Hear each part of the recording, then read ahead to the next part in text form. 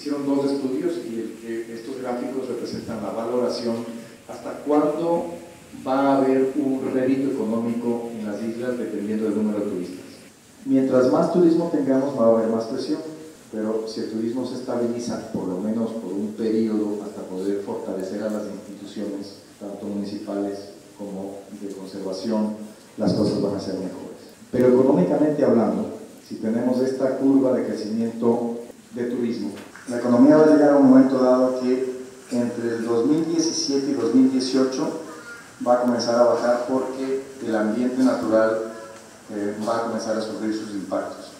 La llegada de organismos introducidos ya está extremadamente alta, no hay los suficientes mecanismos capaces de control eh, en el Ecuador continental para los barcos que ingresan a Galápagos. En el escenario de crecimiento lineal o constante, 3,5%, tendríamos que la economía pudiera seguir su crecimiento, pero eventualmente esta curva llega a bajar en el año 2033. Entonces sigue creciendo económicamente, pero ya entramos en el punto de no retorno. Y con el escenario de estabilización del turismo, tendríamos un crecimiento económico que se va a largo plazo. Es decir, una de las cosas es calidad y no cantidad. Lo que buscamos y la recomendación del señor presidente de la República fue necesitamos tener un lapso de unos cinco años, estabilizar el número de visitantes, que no lleguemos al punto de no retorno ambiental para poder fortalecer a las organizaciones y entonces ver la posibilidad de permitir, si es que fuese posible, un eh, flujo mayor de visitantes. ¿De qué depende entonces el futuro de nosotros, el futuro del planeta? Decisión política.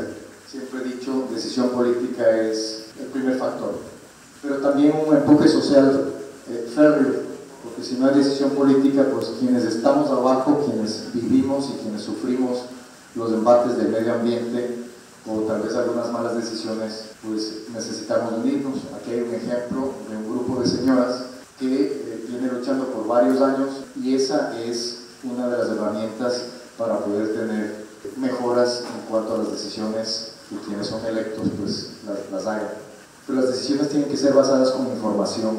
Eh, y esa información eh, tiene que nutrirse a través de la investigación. Hay muchos centros académicos y que tienen que ser utilizados, eh, motivados, fortalecidos para que la información se genere y se pueda sustentar, haya una línea base, una comparación e ir adaptando las decisiones conforme esa información va siendo generada. Necesitamos compartir la información. No puede ser posible que se haga eh, investigación o que eh, entidades de Estado hagan investigación y no estén en el conocimiento del público. Es el, por último la sociedad la que va a comportarse hacia tal o cual decisión que se tome. Y tiene que haber un cambio en comportamiento social. Esperemos que no lleguemos a que haya un desastre mundial para que entonces la mayoría de la población humana cambie de chip se comporte de la manera que deberíamos ya comportarnos. Lastimosamente hoy día la minoría de la población mundial estamos conscientes de cómo deberíamos comportarnos y tomar decisiones o planificar para el futuro. La gran mayoría está perdida en un sistema económico capitalista desigual, no tiene equidad, en donde cientos de, de pescadores quedan sin nada porque ahora resulta que los jeques construyeron estas islas en, en Dubái y ahora porque la arena que sostenía esas pesquerías está en esa parte del mundo. Eso no puede ser. ¿Hasta dónde vamos a llegar como seres humanos? Entonces tiene que haber un cambio ya, un cambio firme en nuestro comportamiento para poder sustentar nuestras vidas y las vidas de nuestros hijos. Allí es en donde